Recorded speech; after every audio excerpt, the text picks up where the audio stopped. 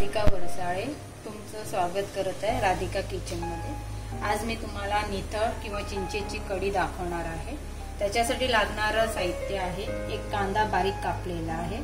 अर्धा चमचा मीठ अर्धा चमचा हळद लिंबा एवढं गूळ थोडीशी कोथिंबीर एक मिरची कापून घेतलेली बारीक आणि थोडंसं आलं घेतलेलं ते पण बारीक कापून घेतलेलं आहे.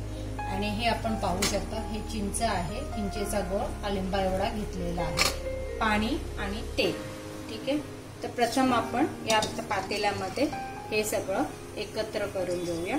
हे सगळं जिन्नस एकत्र करून घ्यायचंय आणि ह्याला हाताने खुसकोरायचंय मिठामुळे पाण्या कांद्याला पाणी सुटणार आणि ते एक जीव होणार.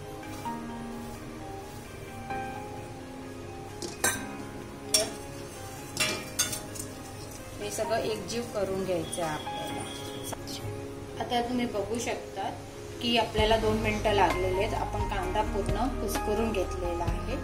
आता या कुस्करलेल्या कांद्यामध्ये आता आपण थोडस तेल घालूया. आणि मग त्याच्यामध्येच आता आपल्याला हे चिंच आहे. त्याच्यामध्ये पाणी घालून चिंचेचा खोळ करायचा आहे.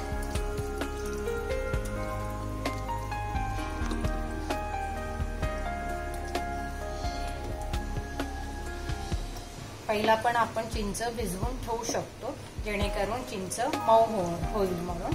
पण मला जर तुम्हाला दाखवायचं होतं म्हणून मी आता हे तुमच्यासमोर ह्याचा खोळ बनवत आहे. आता आपण बघू शकता हा मी खोळ बनवलेला आहे. आणि हे आता एवढं पाणी हे क्लिअर एवढं इथपर्यंत होईपर्यंत आपल्याला त्याचा रस काढायचा आहे चिंचेचा. आता हा खोळ आपण या कांद्याच्या ह्याच्यामध्ये घालत आहोत. आणि हे पाणी सुद्धा आपण आता ह्याच्यामध्ये घालत आहोत आपण शिजवतो म्हणून ह्याला नितळ म्हटली जाते आणि हे पारंपरिक रित्याने केलेली जाते. ही पाच कळशांची महत्वाची कडी आहे जी मटणाच्या वेळेला बनवली जाते. जसे मालवणी लोक सोलकडी बनवतात तसे आम्ही एसकेपी लोक नितळ बनवतो. जेव्हा पण मटणाचं जेवण असेल तर त्याच्याबरोबर ही नितळ वापरली जाते.